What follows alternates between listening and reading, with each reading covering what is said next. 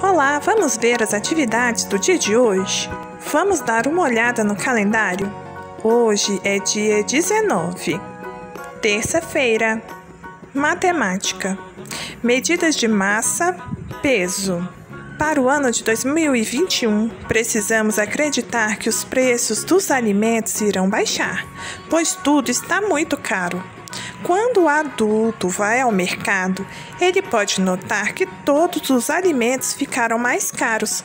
Veja alguns alimentos que são vendidos no quilo e que também aumentaram os preços: as frutas, a carne, o tomate, a cebola.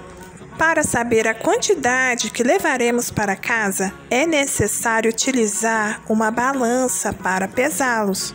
Pegue o livro de matemática e faça a atividade na página 156. Medida de massa, que é o peso. Nessa balança, um abacaxi em um prato e dois sacos de feijão no outro. Veja que um está mais alto e o outro está mais baixo. Isso porque o peso deles está diferente um do outro. O que é mais pesado cai mais para baixo, o mais leve acaba ficando mais para cima. Então vamos responder as questões. Assinale o que podemos afirmar com certeza, só de observar essa figura. Os dois sacos de feijão e o de abacaxi têm o mesmo peso? Será que está certo? Observe bem e pense. Os dois sacos de feijão são mais pesados do que o abacaxi? Será?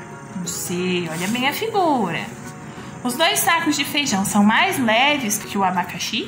Observe a figura para responder e você vai responder no quadradinho que tiver a frase correta, fazendo um X. Medida de tempo. Olha um relógio aqui, lembra que é o relógio digital? Aqui é das horas e aqui dos minutos. Então são 7 horas em ponto.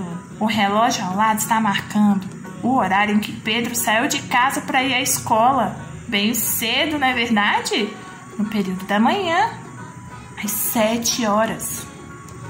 A aula da Tati começou três horas depois desse horário e a aula de matemática começou uma hora antes da aula de artes. Prestem bastante atenção nessa informação. Ela vai ajudar a responder as questões seguintes.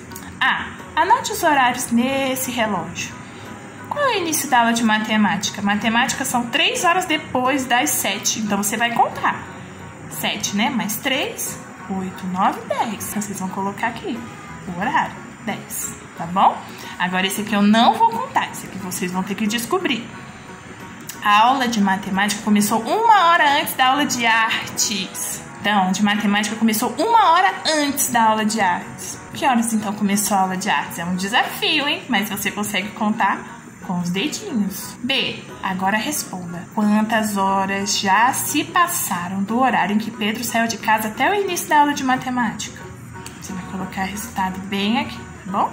Geografia. Todos nós esperamos que as aulas voltem de forma presencial para podermos estar todos juntos novamente. Vocês sabiam que a nossa escola passou por algumas reformas? Para que ela continue assim, é necessário cuidarmos muito bem dela. Para isso, devemos colocar todas as coisas em seus devidos lugares e não jogarmos o lixo no chão. Pegue o seu livro de Geografia e faça a atividade da página 24. 3. Procure jornais e revistas imagens de dois objetos que existem na sua moradia. A. Colhe essas imagens no quadro abaixo. E B. Ao lado das imagens, escreva o nome de cada um deles.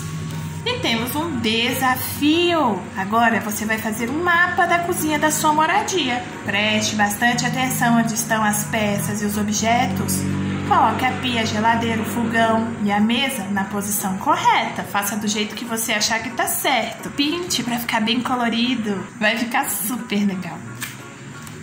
Um beijo e até mais!